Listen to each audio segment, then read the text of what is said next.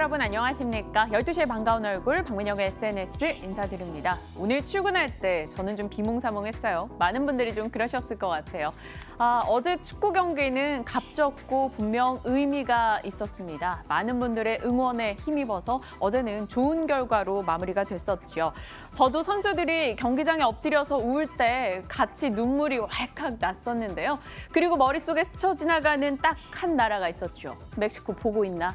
라는 느낌이었습니다. 오늘 출근길에 아, 멕시코의 반응은 어떨까 궁금해가지고 한번 들어가 봤더니 멕시코인들의 트위터에 난리가 났더라고요. 아, 몇 가지 좀 가져와 봤습니다. 독도는 한국땅이다 라고 대뜸 글이 올라와 있었고요. 아, 곧장 이 코리안 비어를 먹으러 가겠다, 소주를 먹으러 가겠다 뭐 이런 트위터도 있었고 길거리에서 보이는 한국인들에게 행가래를 해준다던가 한국인들을 위한 무료 맥주 혹은 무료 안주 서비스를 한다던가 그런 업체들이 상당히 많았습니다. 그리고 조금 가려졌긴 했지만 조현우 선수죠. 멕시코에서 거의 신격화돼 있다라고 하는데요. 조현우 선수 이번에 너무나 잘 뛰었습니다. 그리고 조현우 선수는 세계적으로 좀 집중을 받았는데 중국 바이두 실시간 검색어 1위를 차지하기도 했습니다. 그의 실력도 실력이지만 사실 그가 무슨 화장품을 쓰느냐, 왜 이렇게 피부가 하얗냐, 그가 무슨 왁스를 쓰느냐, 왜 그렇게 날고 뛰는데 머리가 한 올도 안 내려오느냐, 뭐 이런 얘기로도 상당히 이슈가 됐다고 합니다. 여러모로 주목을 받았고 기분 좋았던 어제 경기였죠. 그런데 오늘 출근길에 이런 것들을 읽으면서 기분 좋게 왔는데 시장 개장했는데 지수는 내려가고 분위기가 좋지 않았습니다. 저 또한 기분이 조금 다운됐죠. 그나마 다행인 건 시간이 갈수록 낙폭을 줄이고 있고요. 아, 상승 종목수가 빠르게 늘어나고는 있습니다. 하지만 미국 IT 종목의 하락 속에 오늘 삼성전자, SK하이닉스 외국계 매도 대거 맞아가면서 떨어지고 있는 상황이죠. 오늘 외국인들은 IT나 금융주 쪽으로 강한 매도 물량을 내놓고 있고요. 상대적으로 화장품이나 내수 유통주에서 오늘 강한 반등을 보이고 있습니다. 어제 우리 경기 후반전에서 선수들이 힘을 내줬다시피 우리 증시 역시나 오늘 후반으로 갈수록 조금 더 탄력을 키워주길 기대해 보겠습니다. 경기장 부지런히 뛰면서 저희가 담아볼 만한 종목들 고민해 볼게요. 박민영 SNS 시작합니다.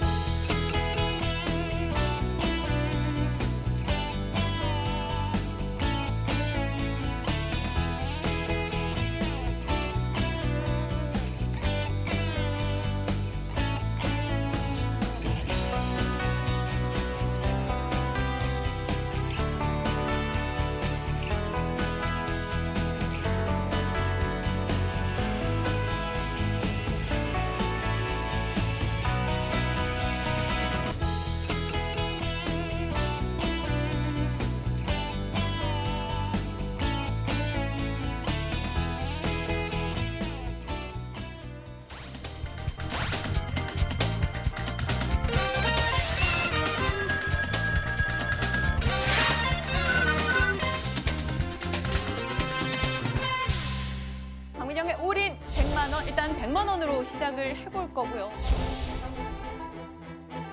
65만 원짜리. 지금 제포트의 최대 매수 금액은 40만 원 정도입니다. 값비싼 아이들로 골라 오셨어요. 저한테 사지 말라고. TV로 보는 즐거움, 채팅에 참여하는 즐거움, 내 계좌의 수익을 보는 즐거움. 프로가 되기 위한 이 박앤코의 도전 계속됩니다. 100만 원에 400더 진짜 투자를 시작합니다. 네, 프로가 되기 위한 도전은 계속됩니다. 박앵커의 올백 시간입니다. 아, 오늘 지수 좀 탄력이 많이 둔화된 가운데 또 종목에 대한 어떤 전략을 나눠야 되는가 이분들과 치열하게 고민해 보겠습니다. 아, 권홍섭 주임님, 박재영 차장이 함께합니다. 두 분 어서 오세요. 안녕하세요. 안녕하십니까. 네, 안녕하십니까. 아, 오늘 시장에 대한 이야기도 나누고 싶고 뭐 다루고 싶은 종목 이야기가 너무나 많습니다. 다짜고짜 오늘 제가 좀 질문을 드리고 싶은 종목이 하나 눈에 띄어요. 해머로 머리를 맞은 듯한 느낌을 주는 종목이 하나 있죠. 눈치 빠른 분들이라면 채셨을 것 같아요. 해마로 푸드 서비스 권주임님. 네. 아, 살 걸 그랬어요. 오늘 18% 오르네요. 오늘 탄력 너무 좋네요. 어제도 급등이었고요. 네, 그렇습니다. 일단 뭐 일단 그 전에도 이제 그 투자 포인트는 이제 맘스터치. 맘스터치죠. 예, 맘스터치와 더불어서 어, 최근에 뭐 이제 삼계탕 관련된 제품 그러니까 이제 뭐 레토르트 식품이라고 그러나요? 이렇게 그냥 간편으로 어. 데워 먹는 삼계탕까지 출시를 하는 바람에 네. 거기에 이제 플러스 요인으로 작용을 하고 또 실적도 계속적으로 나쁘지 않았고 어 그리고 이제 맘스터치의 경우에는 이제 뭐 월드컵 뭐 이제 끝났지만 뭐 거기에 대한 특수성 그러니까 좀 성수기에 진입을 했다 음. 예, 이런 부분에 기인을 해가지고 아마 이제 상승이 나타날 거다 이렇게 예상을 했는데요. 어, 어찌됐든 지금 현재 상승 흐름 나쁘지 않고요. 원래 이제 이게 small cap 관련주라서 웬만한 수급이 들어오지 않으면 잘 상승하지 못하는 종목입니다. 그러나 이제 기관이라든지 연기금 이런 것들에 이제 기반을 해가지고 어, 수급적으로 이제 뒷받침이 되면서 외국인까지 어, 동반 가세해서 이런 양상이 나타났는데요. 어, 이런 양상들은 일단은 뭐 상승 기류를 탔기 때문에 뭐 단기간 조정도 올 수 있겠지만 일단은 뭐 단기 목표가 한 4천 원 정도 만약에 사신 분들이라면 4천 원 정도 잡으시고요. 어, 일단은 실적 관련돼서 이제 7월 정도 그러니까 7월 15일 이후나 이제 8월 정도에 나올 예정인데 만약에 그 실적 발표가 된다면 일단은 그때가 아마 또 다시 한번 피크아웃 될 시점이기 때문에 어, 거기 일정에 맞춰서 어, 한번 매매를 하는 방향을 잡으시는 게 좋겠습니다. 지금도 호가창이 뭐 어지럽게 움직임을 보여주고 있습니다. 그런데 많은 분들이 그러더라고요. 호가창 들여다보지 말라고. 정신 건강에 좋지 않다고. 여러분 보지 마세요. 수연님이 오늘 사면 안 되는 거죠? 라고 질문 주셨는데 권주임님 오늘은 좀 그렇죠. 예, 그 우리가 이제 흔히들 말하는 쫓아 사지 말라고. 맞아요. 아. 예, 저도 가끔씩 호가창 보일 때마다 너무 이제 빠져듭니다. 예. 저희가 어떻게- 기다려 딱 기다릴 수 있었는 위치였는데 예. 네, 좀 아쉽긴 하네요. 하지만 해마로 푸드 서비스로 수익 내신 분들 축하드립니다. 그리고 오늘 또 얘기 나누고 싶은 게 어제 박재영 차장님 삼화 콘덴서 얘기하셨잖아요. 오늘 올라가고요. 요 며칠 대우조선해양 또 언급 주셨는데 대우조선해양도 오늘 상승합니다.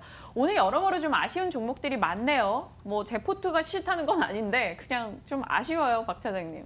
그냥 근데 뭐 종목 네 종목인데 오늘 저희 담고 있는 종목 세 종목이 올라가니까 음. 뭐뭐 하긴 어쩔 수 어쩔 수 없는. 거잖아요. 예, 다다 살 수는 없는 거니까 모든 종목을 어, 미련을 가질 필요는 없을 것 같고요. 뭐 사막 콘덴서도 그렇고 대우조선 해양도 그렇고 대우조선 같은 경우에는 유가가 어, 꽤 많이 올랐어요. 무서울 무서운 속도로 지금 올라가고 있어서 그 부분에 좀 영향을 받는 것 같고 사막 콘덴서도 뭐 어제 좀 말씀을 드렸는데 음, 컨덴서 관련된 업체들이 주가가 나쁘지 않은데 어, 삼성전기랑 사막 콘덴서가 조금 조정 받았습니다. 그래서 어, 업황 자체가 나쁘지 않고 잠깐 조정받은 거는 올라갈 가능성이 저는 충분히 어, 개연성이 음. 있다라고 어, 생각을 좀 해서 제시를 좀 해드린다고 말씀을 드렸는데요. 나쁜 종목들은 오래 조정받지 않습니다. 잠깐 조정받고 올라가는 게 저는 이제 정말 좋은 종목이다라고 생각을 하는데 사막 콘덴서가 한 2, 3일 조정받고 지금 다시 반등을 주고 있어요. 그래서 기대를 어, 좀 계속 가져봐도 나쁘지 않을 것 같습니다. 좋습니다. 아, 보유자분들이시라면 혹은 보유하고자 하셨던 분들이라면 꼭 참고하시면서 두 분의 전략 보시길 바라겠고요. 일단 포트 보고 갈까요? 열어보겠습니다. 아, 말씀 주셨죠. 박 차장님 오늘 포트 내에 있는 네 종목 중에 세 종목이 올라가고 있다. LGU 플러스가 2% 상승 중이고요. 대상 뭐 고영 빨간불 켜고 있습니다. 더존비주원이 어제 급등을 보이다가 상승 부분 조금 반납하면서 마감이 됐었는데 오늘 일단 약보합 강보합을 오가고 있습니다. 8% 수익 더존비주원에서 나오고 있고요. 수현님은 어제 12% 수익으로 매도하셨다고 하는데 수현님 축하드리고요. 아, 저희도 일단 전체적으로는 0.5% 수익 구간입니다. 어, 오늘 제가 한 포털 사이트에 유명한 그 초록색 배너 포털 사이트에 더존비존을 쳐봤어요. 여러분도 아마 방송 보고 계시면 한번 쳐보세요. 그러면 연관 검색어로 박앵커의 올백이 나옵니다. 깜짝 놀랐어요. 더존비존을 아, 네 쳤더니 나와서 좀 책임감이 있는데요. 더존비존으로 수익 무조건 크게 내서 나가고 싶어요, 박 차장님. 어 그렇네요. 저는 그런 거는 몰랐었는데. 쳐보세요. 한번 재밌어요 이게. 음, 뭐 그만큼 이제 방송이 좀 잘 되고 있다라는 증거 아닐까요? 어, 여기서 수익을 좀 내줘야 아, 좀 장기적으로 좀 갈 수 있을 것 같고 더존비전 같은 경우에는 아마 시장이 좀 안정되고 실적 시즌 다가오면 음, 움직임이 좀 더 좋아질 것 같아요. 네. 더존비전 어, 비즈니스온 같은 종목들은 사실 단기간에 굉장히 많이 올랐고 더존비전은 어, 사실 좀 차근차근 올라간 시총 차이 때문에 그렇거든요. 그래서 좀 안정적인 거 좋아하시는 분들은 어, 그리고 뭐 수출 비중이라든지 이런 부분에 대해서 부담이 크지 않기 때문에 어, 좀 괜찮은 이제 대안이 될 수 있을 것 같습니다. 비즈니스 온도 참 괜찮았는데 최근에 조정이 좀 가팔랐죠. 그러면 이제 관심 있게 두 종목 같이 보셔도 저는 어, 좋을 것 같고요. 어, 더존 비전 잘안 밀리고 있어요. 저는 그게 장점이다라고 보거든요. 맞아요. 시장이 지금 이 6월 6월 상간에 굉장히 큰 폭으로 하락을 했는데 안 밀리고 있습니다. 그러면 어, 시장의 관심은 여기에 좀 많이 쏠려 있다라고 어, 이제 생각이 되거든요. 음. 고점 돌파하는 시기까지 좀 어, 들고 가보셔도 저는 좋을 종목으로 어, 더존 네. 비전을 좀 제시를 해드려보도록 하겠습니다. 채팅창에 벌써 많은 분들이 검색을 해보셨어요. 첫 번째로 바로 나오네요라고 하고 주총님은 부담 100배. 뭐 중학교 4학년 퍼블장애님이시죠. 박앵코님이 세력이 되었다고 한다. 다들 정말 재치 있으셔요. 아 더존 비주원 권주임님이 아까 표정이 어 설마 진짜 그럴 리가 하는 느낌이었는데 왜요? 저희 검색어 오를만 하지 않을까요? 아, 예, 저도 이제 우리 프로그램이 참 잘 되고 있구나라고 많은 많은 느낌을 받고요. 예, 그런 부분에서 뭐 포탈 1위인 초록색의 연관 검색어까지 뜰 정도면 어, 상당히 뭐 파급력도 있고 그리고 앞으로 좀 더 잘해야겠다라는 좀 생각도 많이 들고요. 어, 저희가 이제 가져오는 종목들 보시면 뭐 물론 이제 떨어지는 종목도 있지만 그 가운데서도 정말 펀더멘탈 괜찮고 좋은 종목들 많이 가져오는 거기 때문에 어, 시청자분들도 좀 주위 분들한테 입소문 좀 내주시고 예, 맞아요. 그러시면 감사하겠습니다. 네. 여러분이 응원을 해주셔야 합니다. 시청률이 떨어지면 또 제가 언제 또 이 자리에서 사라질지 몰라요. 함께 방송 보시면서 아, 응원해주시고 또 같이 수익도 내가는 그런 시간으로 저희가 이끌어 가도록 하겠습니다. 자, 빠르게 두 남자의 종목 열어보도록 하죠. 오늘 박재영 사장님, 권홍섭 주임님의 종목은요. 먼저 박 사장님은 KTND 또 나왔어요. DBI텍 또 나왔어요. 제가 사지 않았다고 또 이렇게 시위를 해주시는군요. 권 주임님은 KMW 그리고 EM코리아. 아, 어제 축구해서 그럴까요? 코리아만 붙어도 기분이 좋네요. 이들 종목에 대해서 이야기 다뤄보겠습니다. 음, 권주임님의 종목부터 먼저 가볼까요? KMW는 저희 한 두어 번 들었으니까 EM코리아 먼저 갈게요. 코리아 붙은 EM코리아. 오늘장 흐름이 좋더라고요. 예, 이게 원래 이제 그 수소차 충동소 하고요. 맞아요. 그리고 터널 이제 뚫어주는 기계 그런 터널 장비들을 어, 음. 가지고 이제 사업을 하는 업체인데 어, 최근 들어서 이제 첫 번째로 이제 투자 포인트로 잡을 게 이제 남부 경협에서 가장 이제 어, 어떻게 보면 일차적인 가시권에 있다. 어, 우리가 뭐 보통 철도주 뭐 이런 건설과 관련된 것들이 어, 많이 오를 거라고 해서 미리 많이 올랐는데 일단 철도 관련돼서는 굉장히 좀 시간이 많이 걸릴 거라고 생각이 되고 있습니다. 물론 이제 동해안선이라든지 뭐 경의선 같은 경우에는 어 그쪽 부 그쪽에 이제 북한의 군부대가 이미 밀집이 되어 있기 때문에 거기에 대한 이전 비용 그리고 이전 계획 등이 있기 때문에 상당 기간 소요가 될 것이라고 예상이 되고요. 어 가장 빠른 게 이제 도로죠. 고속도로 뭐 평양과 뭐 서울 간 고속도로 뭐 만든다 이렇게 얘기 나오고 있는데 도로를 또 하려면 터널은 필수적이라고 생각합니다. 또한 이제 금강산 내지는 이제 원산 지역에 도- 연결할 도로망도 아무래도 산이 많다 보니까 어, 거기에 대해서 터널 장비 수혜주인 EM코리아가 가장 큰 수혜가 되지 않을까 이렇게 보고 있고요.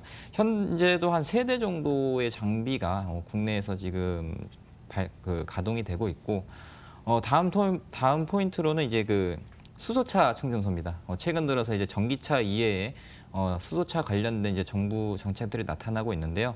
그 가운데서도 이미 그 수소차 충전소 사업을 영위하고 있는 EM 코리아가 어, 거기에 대해서 이제 선도 주자로서 가장 큰 수혜가 나타나지 않을까 이렇게 보고 있습니다.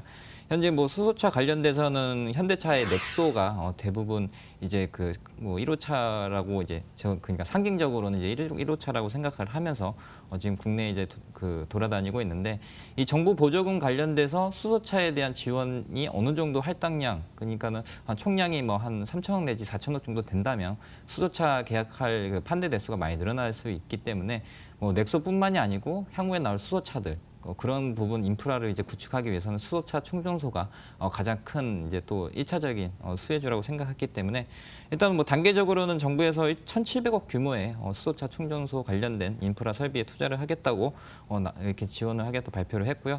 거기에 따라서 이엠코리아 주가도 어, 상당 부분 지금 변동성을 키워가면서 어, 지금 상승을 한번 어, 노려볼 만하다 생각을 했기 때문에 오늘 한번 소개해 드리려고 가져왔습니다. EM코리아 저도 관심을 갖고 봤었었는데요. 하나 좀 부담스러운 게 외국인과 기관 수급이 탄탄하다라고 느껴지지 않는 최근이에요. 아, 왜- 기관이 매도를 좀 계속하고 있고요. 개인들이 매수를 하고 있는 상황인데요.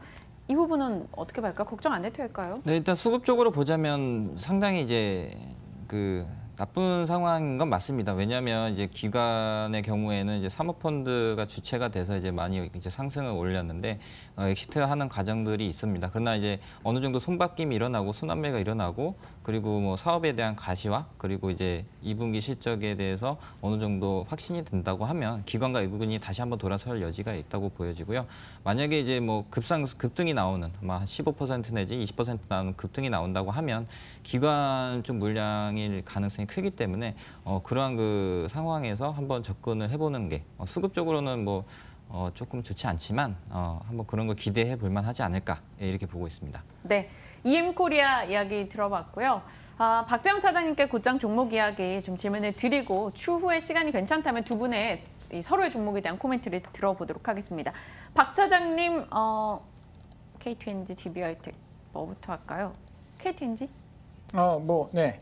오늘은 사실 시장이 이렇다 보니까 좀 방어적인 것도 필요할 것 같고, 어, 그리고 시장이 망가질 것 같지 않아서 그러면 시장이 안 좋은 가운데 좀 조정받은 그런 종목도 필요하겠다 싶어서 두 종목을 이제 약간 컨셉이 다른데 예, 준비를 했고요. 먼저 KTNG부터 보시면 이제 최근 같은 시장에서 굉장히 핫하게 움직일 수 있는 그런 종목입니다. 6월달 어, 저점이 9만 5천 원이었는데 10%가 올랐거든요. 지수가 완전히 박살나는 동안에 10% 올랐습니다. 이제 방어주적인 측면 면모를 보여주고 있는 거죠. 아, 올 상반기에만 주가가 20% 넘게 하락을 했는데요. 뭐 굉장히 안정적인 종목이라는 측면에서 20% 하락은 굉장히 이례적입니다. 이유는 뭐 다양하게 좀 악재들이 많았어요. 첫 번째로는 실적이 안 좋았고요. 네. 실적이 안 좋아진 이유는 이제 수출 부진이 있었습니다. KTNG가 뭐 중동, 중앙아시아 이런 쪽으로 뭐 동남아 이런 쪽으로 담배를 수출하는데 실적이 좀 안 좋았어요. 매출 그, 그, 그 해외 쪽 실적이 좀 좋지 않았었고 여기에 어, 아이코스라고 하는 전자 관련형 전자담배에 대한 대응이 조금 늦었습니다. 어, 이제 담배 피시는 분들은 알겠지만 전자담배가 뭐 해봐야 얼마나 잠깐 하고 말겠지라고 했는데 이게 시장 점유율을 10%까지 끌어올리면서 어, 뒤늦게 대응한 KTNG의 수익성에 좀 많은 문제를 일으켰는데 그러면서 주가가 많이 하락을 했죠. 네. 그런데 이제 좀 주목을 해봐야 된다라는 이유는 이러한 문제점들이 예, 많이 좀 해소가 되고 있어요. 먼저 관련형 전자담배 같은 경우에는요, 닐이라는 이제 브랜드 그 제품을 출시를 했습니다. 작년 11월에 출시를 해서요, 어, 서울 이제 수도권에서 판매를 시작을 했고요. 올해는 이제 지방까지 판매를 좀 늘려 나갈 계획입니다. 어, 17,000개 편의점에서 판매를 하다가 4만 개 전국으로 이제 확대를 했기 때문에 그 격차 아이코스와의 격차를 조금 줄일 가능성이 높고요. 이 전자담배 시장의 한 점유율 22%까지 끌어올릴 가능성이 있습니다. 그렇게 되면 좀 부진했었던 이 관련형 전자담배 에, 쪽에 실적이 좋아질 가능성이 있고요. 어, 다음으로는 수출이 좋아질 겁니다. 담배 수출이 부진했었던 이유는요. 중동, 중앙아시아, 특히 중동에서 KTNG 담배가 이제 잘 팔리는데 중동의 세계 2위 담배 시장이래요. 그렇죠. 거기는 뭐 사실 예전에 우리도 그랬듯이 또둘또 다. 또 옛날 얘기 나오는데 어, 호랑이 담배 피던 그 시절 얘기해 주시는 거예요? 버스에서 담배 폈다라는 것 상상이나 가세요? 옛날에요? 그럼요. 식당에서는 당연히 폈죠. 식당에서는 안 핀 지가 이제 얼마 안 되고 저도 이제 술 먹으면서 담배를 굉장히 많이 폈는데 예전에 저 어릴 때는 버스에서 담배를 폈어요. 강의실에도 담배를 폈습니다. 교수님들. 아, 그 시절이 어. 싫다. 네. 뭐 근데 이제 우리는 그렇게 해서 금연 열풍이 불면서 성장성이 많이 떨어졌는데 중동이나 주- 이제 가까운 나라 중국만 가보러, 가보더라도 담배에 굉장히 어, 관대합니다. 그래서 굉장히 큰 시장인데 또 대한민국 담배가 굉장히 고급 담배예요. 담배 잎도 굉장히 좋고요. 뭐, 뭐 얇은 담배 이런 것들이 많으면서 수출이 잘 되고 있어요. 작년부터 중동 수출이 굉장히 많이 늘어나면서 KTNG가 또 다른 성장주가 됐다라고 이제 반응들이 나오기 시작을 했는데 이 부분이 조금 안 좋았어요. 이유는 중동의 대리상이랑 이제 단가를 맞추는 데에서 이견이 좀 있어서 매출이 이연된 거지 매출이. 사라진 게 아닙니다. 4월 달에 그 해- 체결이 됐고요. 수출 계약 체결이 됐고요. 5월부터 수출 물량이 YOY로 늘어나기 시작했습니다. 그렇게 되면 2분기, 2분기 조금 타격이 있을 수도 있어요. 4월에 체결이 됐으니까. 3분기부터는 분명히 실적이 좋아질 거다라는 거죠. 그러면 지금 실적 부진으로 주가에 다 반영이 됐으면 3분기부터는 실적 기대감이 커질 수 있다라는 겁니다. 여기에 주가 빠지면서 valuation도 음식료 업체고 이거 담배 독과점, 독과점 업체인데 PER 12배예요. 여기다가 어, 주당 배당금 4천 원이었습니다. 그러면 10만 원 제가 처음에 가져왔을 때 그런 얘기 했죠. 딱 10만 원에 사서 배당 4천 원 받으면 4%다. 맞아. 이런 말씀을 10만 원, 드렸습니다. 네. 근데 지금 10만 6천 원이나 10만 원이나 똑같아요. 4천 원 배당 나오면 실적이 좋아지고 있고 배당도 배당 메리트도 있고 주가도 많이 빠졌다. 지금 반등 주고 있는데요. 여기가 한 차례 고비가 될 수 있을 것 같습니다. 지금 바닥을 이쁘게 만들어 놓고 바닥을 이쁘게 만들어 놓고 1차 1차 상승했죠. 2차적으로 상승한다. 어 그러면 이, 이 떨어질 때도 그랬지만 떨어질 때도 이제 급하게 하락했지만 올라갈 때도 이런 속도로 올라갈 가능성이 저는 충분히 있다라고 보고요. 방어주적인 측면이지만 실적이 좋아진다라는 측면에서는 2분기, 3분기 실적 기대주로 봐도 무방하다라는 어허. 말씀을 좀 드려보도록 하겠습니다. 최근에 기관 수급도 상당히 좋게 나오고 있고요. 건우님께서 박 차장님 흡연인이시군요 하는데 담배 콕 끊으셨다고. 어, 저는, 네, 저는 한 끊은 지 5년? 오. 만 오늘 저희 첫째 임신하고 끊었으니까요. 네, 한박 5년 차장님. 정도 된 것 같아요. 독한 분이세요. 담배를 끊으셨대요. 호랑이 담배 피우던 이야기 해주세요. 옛날 옛적 이야기네요. 뭐 이런 이야기도 올라오고요. 앞서 에드워드 박님이 어, 다들 축구 보시느라 피곤하신가 봐요. 얼굴이 어, 피곤해 보이게 나오나 봐요. 음, 저 오늘 괜찮은데? 제가 어제 9시간 잤는데. 아 진짜요? 안 보셨어요 9시 축구? 아, 저는 애랑 같이 자서요. 아 축구를 볼 수가 없어요. 건주님 보셨죠? 네 마지막 경기다 생각하고 봤습니다. 그렇죠. 그래서 되게 피곤해 보이다고 글이 올라오고 있는데 괜찮으시죠? 네. 방송하실 수 있으시죠? 네 박수 치면서 봤기 때문에 예, 뭐. 그럼요. 좋은 좋은 시합이었으니까. 예. 그럼 KT&G 얘기해 주실 수 있으시죠? 아, 예. 뭐 지금 시장 양상들이 좀 보자면 이게 작년 기준으로 해서 한 20% 정도 하락을 했습니다. 거기에 따라서 현재 과대 낙폭된 value가 좋은 업체들 위주로 해가지고 수급이 좋아진다는 점 그리고 두 번째로는 이제 그 5월 정도는 이제 우리가 흔히 알고 있는 가정의 달이라고 해가지고 아마 이제 정관장에 좀 매출 호조가 많이 나오지 않을까 예, 해서 저도 마-. 받았는데 그렇기 때문에 해서 하는 게 아니라 이제 뭐 보통 이제 정관장에 대해서는 이제 뭐 선물 선호도 1위라고 하니까 음. 거기에 대한 이제 2분기 실적에 대한 호조 뭐 이런 부분들을 본다면 어, 상당히 어, 괜찮은 음, 종목인 것 같고요. 뭐 이제 기술적 분석으로 봐도 현재 쌍바닥을 뭐 단기적으로 찍고 이제 상, 재차 상승하는 음, 추세 전환 패턴이 나왔기 때문에 어, 괜찮은 음, 흐름 나아가고 있을 것 같습니다. 네, 그러네요. KTNG는 몸에 좋은 거 하나, 몸에 나쁜 거 하나 이렇게 팔고 있네요. 일단 정관장 쪽에 홍삼 이야기도 해주셨어요. KTNG 뭐 창을 보니까 CS증권, 모건스탠리 등에서는 매도하고 있고 UBS나 CLSA 증권 등에서는 매수하고 있습니다. UBS 이겨라. 응원 열심히 하도록 할게요. 올라가길 바라면서 오늘 살지 말지는 좀 고민하겠습니다. 아, 그리고 권주임님의 다음 종목은 KMW 다시 재등장했어요. 네, 저한테 뭐- 시위하시는 거죠.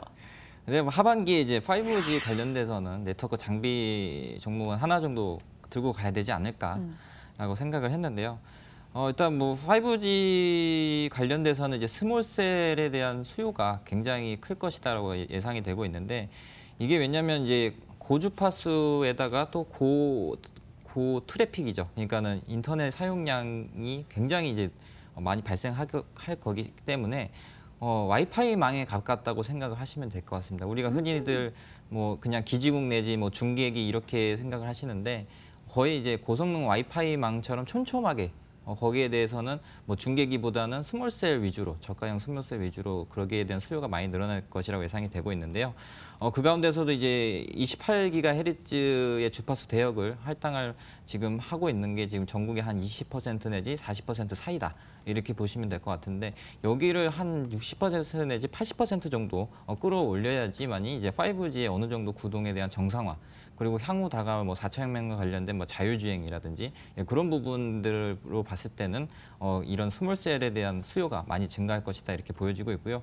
우리나라뿐만이 아니고 이제 중국 하웨이라든지 아니면 이제 미국은 이제 11월 정도에 주파수 경매가 이제 이루어지는데 그런 좀 글로벌적인 수요도 감안을 한다면 앞으로의 이 회사의 고성장세가 지속되지 않을까 이렇게 보여지고 있는데 어, 최근에 이제 1분기는 이제 전년비 대비해서 많이 조금 실적이 안 좋지만 2분기, 3분기부터는 확실히 많이 달라질 거다. 왜냐하면 지금 이제 주버스 경매가 끝났고 그리고 이제 통신사들의 이제 인프라 구축을 위한 투자가 어, 활발하게 이루어질 것이라고 예상이 되기 때문에 거기다가 이제 5G 관련돼서는 2019년 3월 정도가 이제 상용화 예상입니다. 뭐 물론 이제 그 뒤로서 그 뒤로도 계속적으로 이제 5G 그 주파수 관련된 어, 그 대형망을 활, 그 활, 활성화하기 위해서 어, 그런 부분들을 계속적으로 투자를 하기 때문에 어, 당장 19년에 끝나는 게 아니라 계속적으로 이런 네트워크 장비 쪽으로는 수혜가 나타날 것이다 이렇게 보여지고 있고요. 어, 최근 들어 이제 흐름 조- 흐름도 이제 나쁘지 않습니다. 계속 고점을 높여가면서 저점을 높여가면서 나오는 흐름들이 나타났기 때문에 어, 당분간 뭐 최근에는 이제 주가수 경매 끝나고 잠깐 밀리는 흐름이 네. 나타났지만 어, 이런 부분들은 뭐 기술적 분석상 한번 다 쉬었다 간다. 그러니까는 또 더 큰 상승을 위해서 한번 이렇게 쉬었다 가는 모습을 보여주는 거라고 생각을 했기 때문에 일단 고점을 높인다는 점에서 일단 포인트를 잡고요. 이제 매수 시점은 이제 뭐 가장 좋은 이평선에 닿았을 때, 뭐 121선인 내지는 61선 상방에서 닿았을 때 한번 매수를 하는 게 좋겠다고 생각을 하기 때문에 뭐 단기적인 차익 실현도 괜찮아 보이고요. 뭐 하반기, 중기적으로도 투자 포인트가 괜찮을 것 같습니다. 안 그래도 중학교 4학년 미 퍼블장님께서 일봉만 봤을 땐 흘러내릴 수 있을 것 같은데 KMW 언제 들어가는 게 좋을까요? 라고 이야기를 주셨는데 어, 말씀을 해주셨어요. 121선에 닿을 때쯤에 매수하는 것도 괜찮다라고 언급을 주셨네요. 아, 주총님께서 제보를 해주셨네요. 해마로프도 상 가는 것 아니냐라고 했는데 20% 올라가고 있네요. 네. 씁쓸합니다. 저도 모르게 할 말을 잃게 되는. 어찌됐건 KMW 살펴봤어요. 아, 2.9% 오늘 하락하고 있는데 이걸 또 매수 기회로 삼을 수 있을 것이다 이야기를 주셨네요. 분위기 보죠. 다음은 박 차장님의 DB 하이텍. 놓쳐서 배가 아팠던 종목이었어요. 어, DB 하이텍 다시 한번 언급해 주시네요. 어, 그렇죠. 이제, 이제 종목들을 좀 보다 보니까 어, 반도체 쪽 굉장히 안 좋은데 DB하이텍은 안정적으로 가네라고 생각을 좀 하면서 어, 파운드리 쪽은 다른가라고 봤는데 아니나 다를까 미국 뭐 필라델피아 반도체 지수 박살나고 오늘 IT 쪽 박살나니까 함께 빠지는 건 어쩔 수 없는 것 같습니다. 네. 그런데 어, 시장이 안정될 거다라고 본다면 이런 섹터를 계속 주목을 해야 될 것 같아요. 어, 시장이 안 좋아서 빠지는 건 어쩔 수 없고 그럼 시장이 안정화되면 무엇이 올라올 것인가? 물론 이제 낙폭 과대한 쪽이 많이 올라오겠죠. 낙폭 과대한 쪽이 많이 올라오는데 시장이 안정화되면 또 잘 가는 애들이 잘 가는 애들이 잠시 쉬었다가 또 한 번 랠리를 펼칠 가능성이 있다라고 봅니다. DB하이텍도 저는 그런 측면에서 어, 오늘 같은 장에 반도체를 가져와도 될까라는 생각이 있긴 했지만 시장 망가지지 않는다라는 가정하에 이제 좀 어, 선택을 해볼 수 있는 종목이다라고 미리 말씀을 좀 드려보겠고요. 이 회사는 8인치 파운드리 업체입니다. 그러니까 약간 뭐 한 단계 뒤쪽에 물러나 있는 이제 기술력이 한 단계 뒤에 있는 그런 제품들을 만드는 그런 업체예요. 근데 그게 왜 중요하냐? 우리가 모든 제품의 반- 모든 반도체가 high-end급에 들어가는 거 아니지 않습니까? 뭐 이제 스마트폰 high-end급 스마트폰이라든지 이런 쪽에 들어가는 것도 있을 것이고 밥솥에 들어가는 이제 이제 비메모리 반도체도 있을 것이고 어, 요새는 사물 인터넷이라고 해서 가전 제품에도 들어가고 여러 군데 많이 들어가지 않습니까? 그런데 약간은 이제 새로운 그 신기술에서는 좀 밀려났지만 수요가 계속 늘어나고 있는 그런 어, 산업이 8인치 파운드리 업체다라고 보시면 될 것 같고요. 얘들이 지금 MCU, MCU는 그 가전제품의 CPU 같은 그런 제품입니다. MCU, AP, 뭐 통신 칩 이런 쪽에 어, 파운드리, 그러니까 비메모리 제품들을 만들고 있는데 이 글로벌 파운드리 업체들의 가동률이 계속 높아지고 있습니다. 어, 지금 8인치 파운드리 업체들 가동률이 이제 평균적으로 한 90%가 되고 있는 것으로 예상이 되고요. 이제 모 증권사 보고서에 따르면 DB하이텍도 아마 하반기에는 가동률이 100%까지 올라갈 것이다라는 이야기를 하고 있습니다. 그런데 그러면 CAPEX 투자가 있어야 될 거 아닙니까? 네. 이제 수요는 계속 늘어나는데 공급이 딸린다 그러면 공급 증가가 늘어나지 않을까요? 라고 할 수 있을 텐데 이 8인치 파운드리라고 하더라도 규모의 경제가 필요해요. 그런데 한 단계 뒤에 떨어졌기 때문에 삼성전자나 하이닉스 같은 애들이 거기에 돈을 쏟아붓기는 조금 힘들고 그렇다고 영세한 업체들이 진입하기에는 진입 장벽이 있는 그런 상황입니다. 그래서 공급이 막 크게 늘어날 그런 산업은 아니다라고 볼 수 있을 것 같습니다. 그러면 이러한 가동률의 상승이 계속 지속될 수 있고요. 실적이 좋아질 수 있습니다. 그리고 종합반도체 업체들이 사실 자기네들이 다 만들다가 비용상이나 이런 기, 뭐 기술상의 이슈가 아니라 비용상 이런 이슈로 외주를 주기 시작했어요. 그래서 뭐 파운드리 업체들의 가동률이 계속 높아지고 있는 거고요. 당분간은 이런 현상이 진행될 수 있습니다. 그래서 주가가 최근에 움직임이 굉장히 좋았고요. 아, 작년에 주가가 좋다가 많이 빠졌거든요. 그 이유는 삼성전자 쪽에서 이제 TV 판매가 조금 어, 부진하다 보니까 단기적으로 DB하이텍의 실적이 좀 부진 안 좋아졌는데 함께 안 좋아졌는데 그러니까 위탁 위탁 생산을 하는 DB하이텍의 실적이 안 좋아졌는데 그 부분들이 최근에 가동률이 올라오면서 개선이 되고 있다는 거죠. 전고점이 얼마 남지 않았습니다. 그래서 한번 움직임이 다시 나온다? valuation 자체가 굉장히 낮기 때문에 주가가 지금 올라온 게 실적 개선 속도를 따라오지 못하고 있습니다. 그래서 어, 시장만 좀 안정화되고 난다라고 한다면 주가는 전고점 충분히 넘을 수 있다라고 보고요. 밑에 뭐 제 차트를 보시는 분들은 아시겠지만 빨간색과 파란 선이 외국인과 기관의 수급입니다. 뭐 기관은 꾸준히 안정적으로 많이 샀고요. 최근에 이 상승을 주도한 외국인은 정말 공격적으로 매수를 하고 있습니다. 수급 보시면요. 외국인 기관 수급 어, 거의 하루도 빠짐없이 계속 매수가 들어오고 있거든요.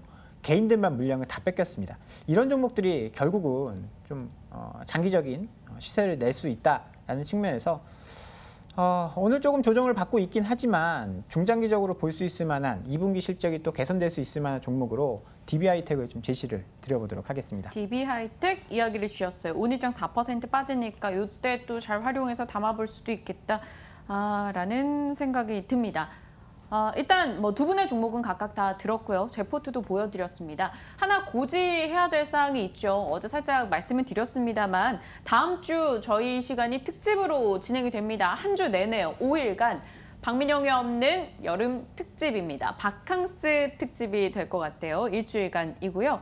바다로 떠나자, 뭐 산으로 가자, 해외로 가자, 방콕이 최고다, 뭐 주식시장의 올인이라는 각각의 테마로 월화수목금 진행이 되는데요. 이게 뭔 뜬구름 잡는 소리야 라고 하실 수도 있죠. 하나씩 볼까요? 어, 첫째 날에 바다로 가자는 리조트나 카지노 관련한 종목들 짚어볼 거고요. 산으로 가자는 어디겠습니까? 금강산, 남북경협, 혹은 뭐 제주도 한라산 등 관련해서 이 저비용항공사 얘기도 나눠볼 거고요.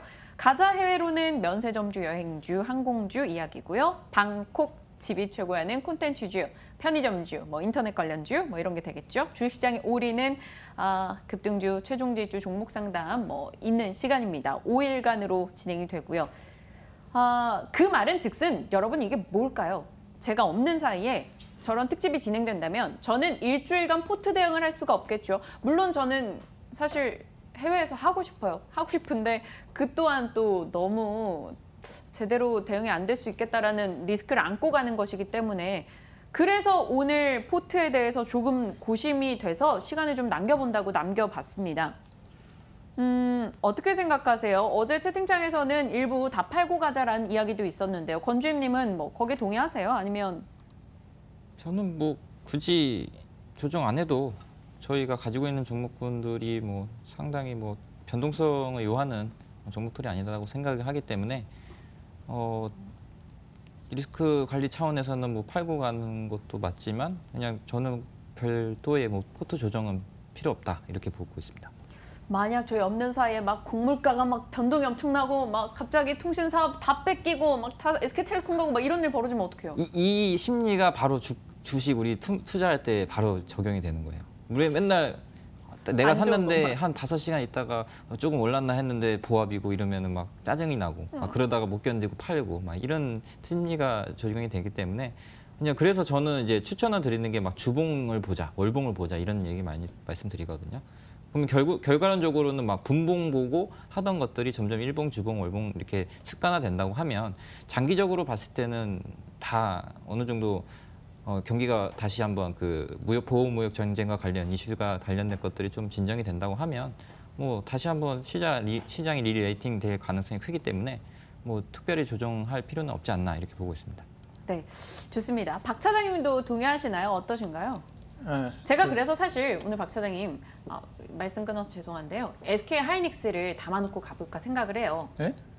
갑자기요? 갑자기요? 아까는 뭐 다, 갑자기? 어? 아니, 그러니까 조금 고영보다는 SK 하이닉스가 아, 좀더 낫지 않을까. 고영이 요즘 뜨뜻미지근해가지고. 네. 거기서 SK 하이닉스 다음에 SK 하이닉스는 그래도 고영보다는 안정적인 느낌을 주니까. 어, 근데 뭐 빠지면 같이 빠지겠죠. 어, 빠지면 같이 빠질 거예요. 뭐 하이닉스라고 용 빼는 재주 있는 거 아니고. 뭐 아까 여행 간 사이에 통신 사업 뺏기고 뭐 그러면 그거 미리 알 수 있어요? 없어요. 그러면 미리 대응할 수 있어요? 박앵커 있다고 해도 못 해요.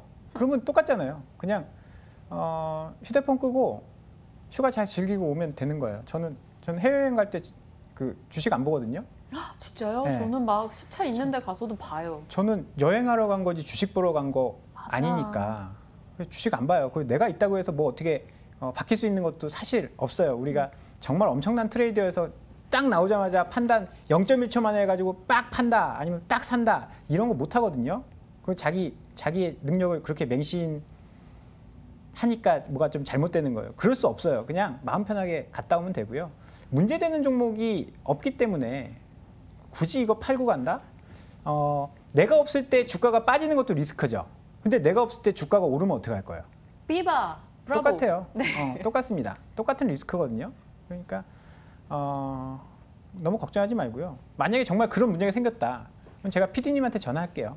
음. 어, 제가 출연해서 빼겠다. 이렇게. 아, 진짜 크게, 출연료에서요? 예, 예. 아, 출연료에서 뺀다가 아니고 그날 출연해서 어, 특집 있는데 잠깐 출연해서 네, 종목 다 빼겠다. 뭐 아. 그렇게 얘기를 할 거니까. 죄송해요. 제가 너무 너무나 네, 혼자 잘못 들어가지고. 어, 네네. 네, 알겠습니다. 걱정하지 말고 다녀오세요. 네. 아, 박 차장님 짱, 뭐 멘탈 대단하십니다. 라고 올라오는데 박 차장님 이런 얘기 하실 때 눈빛이 막 초롱초롱하지 않으세요? 막 넘어갈 것 같아요. 그러니까 뭔가 안정감을 주는 그런 이 두 분이 오늘 둘 다 포트 그냥 일단 놓고 가보자라고 이야기 주시니까요. 좋습니다. 네, 일단은 아, 두도록 할게요. SK 하이닉스로 종목 교체해놓고 가는 건 아니에요? 그러니까 자꾸 집착하는 뭐 척. 오늘 특별하게 한 종목 더 추구해서 뭐 다섯 종목 가시 가시 다섯 종목이요? 그 시청자분들의 동의가 조금 필요할 것 같긴 해요. 저희가 규칙으로 네 종목을 하겠다 했는데 저희가 항상 100만 원 정도가 남기는 하거든요. 제가 추가 매수를 하진 않아서 만약 시청자분들이 동의를 해주신다면 제작진에서도 충분히 의논을 해서 다섯 종목으로 늘려갔고 아, 요즘에 마음에 드는 종목 담아놓으니까 이게 포트가 잘 안 돌아요. 그래가지고 살짝 제가 의견들을 좀 수렴한 다음에 제가 결정을 해서 그거는 추후에 이야기를 다시 나누도록 하겠습니다. 아, 좋습니다. 아, 의견들이 뭐 다양히 올라오고 있네요. 채팅창에 내용들이 상당히 도움이 됩니다. 어, 박건우님, 뭐 수연님 다 동의해 주신다고 벌써부터 글을 올려주고 계시네요. 다섯 종목 해도 됩니다라고 이야기를 주십니다. 신나네요. 일단은 참고하고요. 아, 내일은 또 제가 없는 특집 진행되기 하루 전이니까 또 종목에 대해서 또 변동이 있다면 더 꼼꼼하게 전략을 나눠볼 거고요. 아, 두 분이 오늘 주신 종목 제가 매수하진 않을 거예요. 왜냐하면 지금 포트 변동을 주고 싶지 않은 마음이 여전해가지고요. 그렇다면 여러분도 만약에 포트가 좀 비어 있으신 분들이라면 이분들의 종목 잘 추이를 놓고 지켜보시길 바랍니다. 삼화콘덴서 뭐 가고요. 해마로푸드 서비스 급등하고요. 다 보시는 대로 이분들 종목 잘 골라오시니까요. 믿고 한번 맡겨보세요. 건홍섭 주인님, 박재영 차장님과 함께 오늘도 이 시간 알차게 꾸려봤습니다. 고맙습니다. 감사합니다.